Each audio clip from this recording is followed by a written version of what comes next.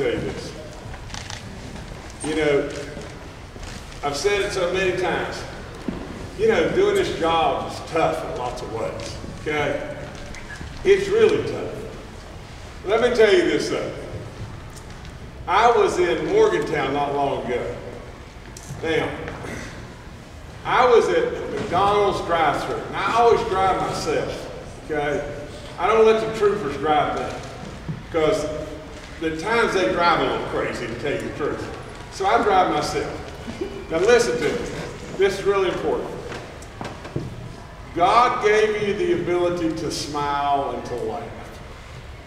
People around you love to be around people that are fired up and enthusiastic and have a big smile and like to laugh.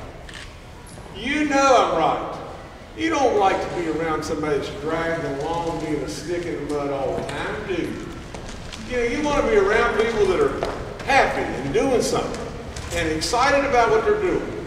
You'll find that enthusiasm is really contagious. Now, all of you are probably dealing with something that's pretty tough. Every last one of you. You know what? This journey that you're on, and you might as well just suck it up. And you might as well know that this journey is tough, and it's probably even going to get tougher as you go forward. But you know what? You have now a network of people that are trying to help you, and you have absolutely the good Lord above that looks out after you every day, that begs you to reach out to Him. You have the tools, and you know what else you got? You got you. Look at you. Just look how good you really are. It's amazing. Truly amazing. Now, and you got this great big giant governor here that's sitting on this stool that, believe me, be is really sturdy because it's got a load on it. And you know really, do you know this? Do you know that I've been a coach forever? Forever. I've probably coached almost 1,300 games. It's unbelievable. You know why I coach? I coach because I love kids. This is my best days. I started saying it just a second ago. These are my best days when I'm with kids. It's tough being a governor. You get a lot of junk thrown at you all the time. You don't like it. You don't like it and you wonder, well, what in the world, why are they doing that that's not true? It's just what I said about smiling and laughing. Now, what I was going to tell you about the state police and what happened just the other day is I was going to McDonald's right here in Morgantown. And there was two ladies that didn't recognize who I was, or not, not right here, but in Morgantown. And I paid them, and they were looking, a state police cruiser that was sitting over there that was following me, and they were looking at it. And so I, I was shocked that they didn't recognize me because I'm eight foot tall and weigh 700 pounds, so everybody should recognize me, you know, and I'm just teasing. But then I moved up to the next window, and there was two ladies there, and they said, what are they doing here? They were looking over there. Now the governor's sitting right in front of them. And they said, what are they doing here? And then they said, well, look, they got some, they got somebody, because they had somebody in the back seat, and that was a lady that works at my office. and then, since I was driving one of the state police vehicles, I said, well, how about this?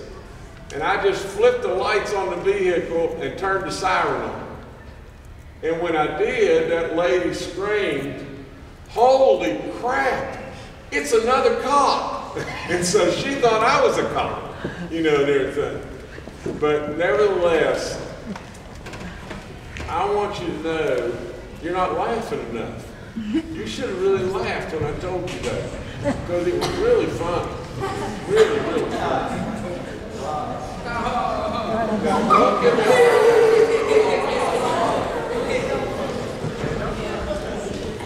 But I want you, I just want to relax you just a little bit. Listen, let me tell you this. A long, long time ago, and I told your communities and schools people that work with you all the time. You know, I told them that there's an athletic director that looked at me and he said, you know, kids know if you like them. You know, they really do. And I'll promise you, to the good Lord above, that when I tell you I love you, I do. I really, truly do. I can tell you this, you, you can't imagine how valuable you are. Every last one of you. Now, if I told you this, just, and you be honest with me, if I said, how many of you have some problem you're dealing with? No matter what it be. How many of you do? Just raise your hands. Put your hands back there. How many of you know somebody within your family that is knows somebody or is somebody or somebody that's dealing with all this drug problems? How many people do we know somebody? Just know somebody. Doesn't have to be in your family. Just know somebody that's dealing with it. Tough, isn't? You know, every both of those, I would raise my hand too. You know, I'm dealing with a problem. I absolutely have people in my family that are, you know, have a drug problem. Does that mean that I'm not valuable? Does that mean that I'm not important? Does it mean that you're not important and that you're not valuable? You are.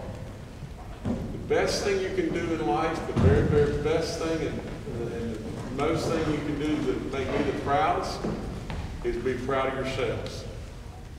Hold your head really high.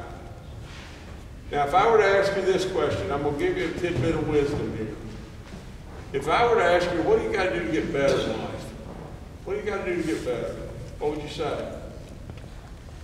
Come on, talk. You got to talk to me. What? Time management. I can't hear. Time management. Time management, that's one thing.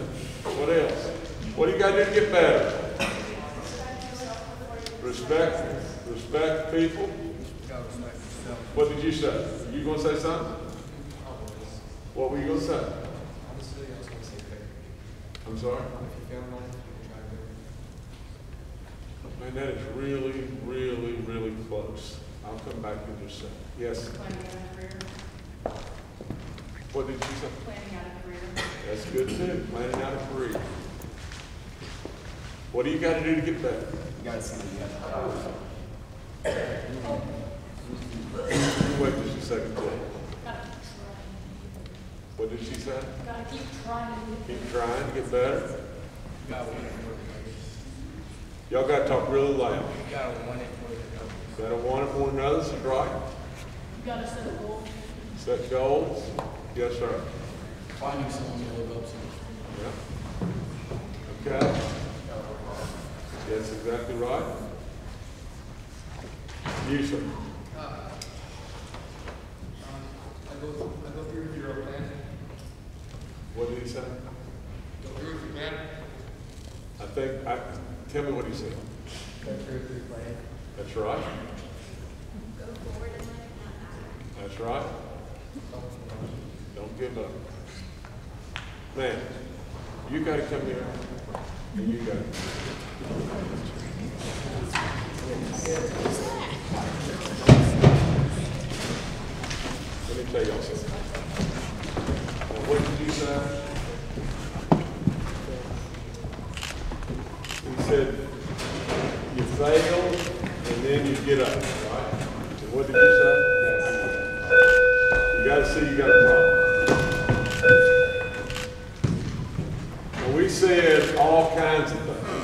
You gotta want it, you gotta, you gotta stay focused, you gotta respect others, you gotta do all kinds of different things. Didn't we? Said all kinds of stuff. But now let me tell you, and it's a combination of these guys. The very first thing you've got to do to get better in life is admit you're doing something wrong. That's the very foundation of your whole life. You think about it. Think about it. If you're shooting a basketball like this, and I'm trying to teach you to get better, and I and I tell you, you know, you you need to have, you know, you need to have your right elbow in, your left elbow out. You, you know, this this hand sits like this on the ball, this hand sits behind the ball, and everything. And and you say, I'm gonna practice this. How long can you practice it? It ain't gonna work. If I tell you just this, what do you got to do in life to get better? You got to admit you're doing something wrong. Now just think about it. If you were an alcoholic, until you're willing to get up and stand in front of people and say, I'm screwing up, I'm an alcoholic, you're not going to get any better. The very foundation of what you do when you're saved in the church, what do you do? You walk up and say, I'm screwing up. I'm doing something wrong. Listen, if you'll just give in to that, remember through your life, you don't have to, you don't have to hide behind anything. We all do stuff wrong. My good Lord. If you knew the number of things that I did wrong, we would list them on these walls forever. Absolutely. Just remember, please, please, please remember to just do that. Not to screw up. Everybody screws up, and you get better. Listen, y'all listen in. I'm really proud of you. I really mean when I tell you that I love you. My wife has really started the community and schools effort. She's really worked hard at it and everything to go statewide. You know, in Greenbrier County is where it all started. You know, in Greenbrier County, every single kid in communities and schools, 100% graduation rate from high school. It's amazing.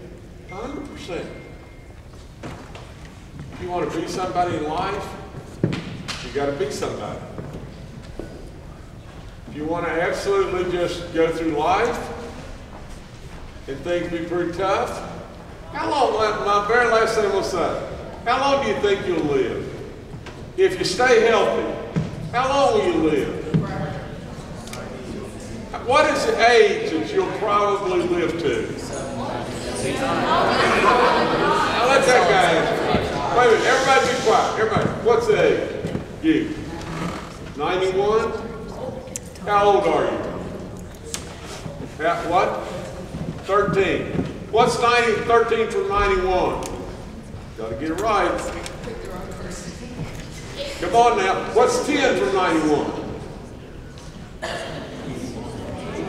What's 3 from 81?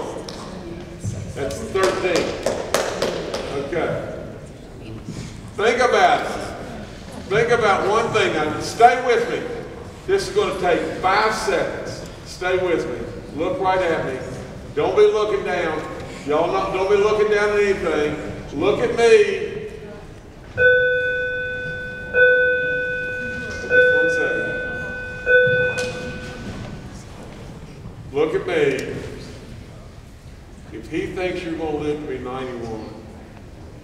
13 years old. 78 years, you're going to live a tough, tough life if you don't now in your life make decisions to go this way instead of that way. You have got to make decisions. 78 years a long time to be just walking around on the street or something like that. That's a long time. You can all do it. You can everyone do it. You got all kinds of people that love you, love you teetotally to death. Now you got to come here minute. I got to talk to you just one second. Come here. What's your name? Jalen. How about my man's haircut here?